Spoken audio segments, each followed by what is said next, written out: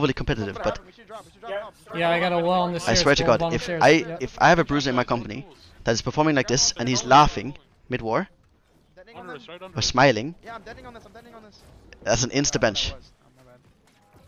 More coming up. Yeah, I'm out of there. Him.